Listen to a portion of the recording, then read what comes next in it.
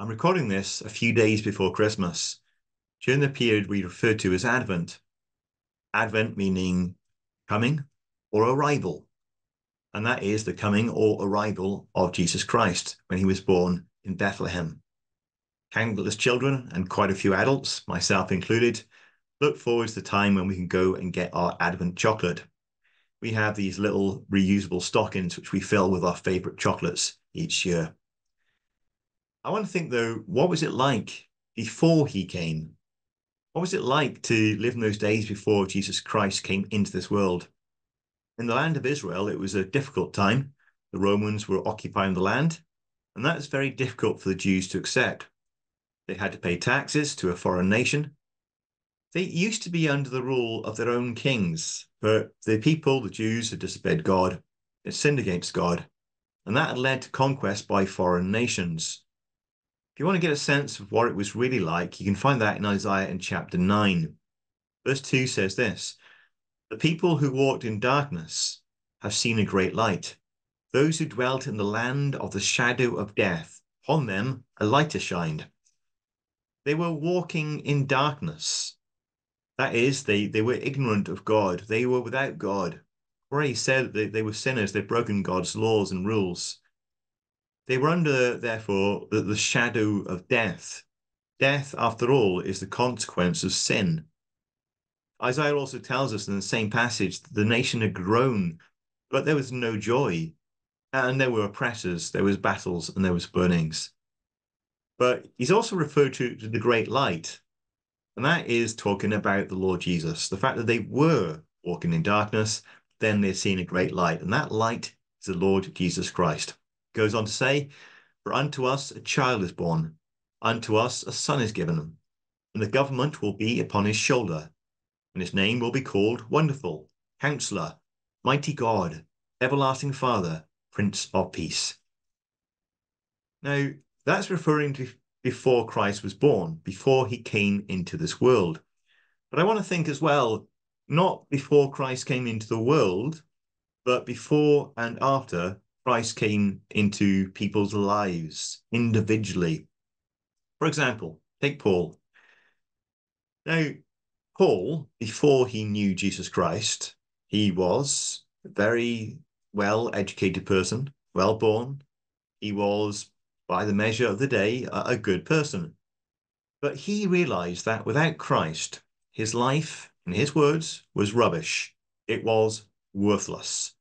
He says this Yet indeed, I count all things loss for the excellence of the knowledge of Christ Jesus my Lord, for whom I have suffered the loss of all things, and count them as rubbish, that I may gain Christ.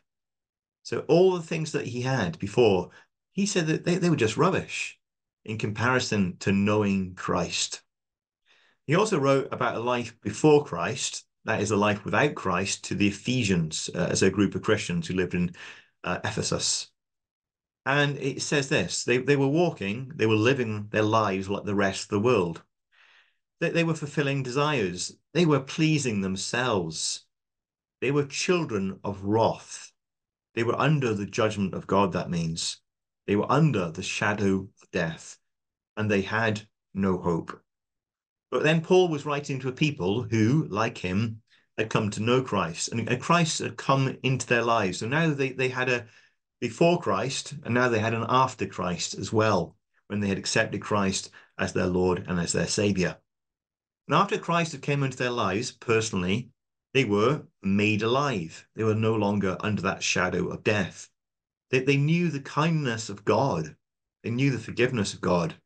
And now they walked to please God, not themselves. What was the difference? Well, the difference was that they had come to know Christ and that they had been saved by his grace. People who have asked God save them from their sins can look back on their life and see a before and after. What about you? Are you at that point in your life before Christ? Will there ever be a point where Christ will come into your life and you'll be able to look back and see that before and after?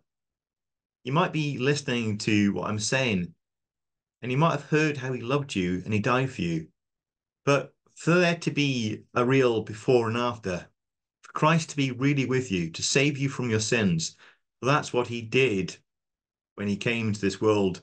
And he was born in Bethlehem, but he went to die on the cross. He did that to save people from their sins. But to that to be true of you, you need to ask him.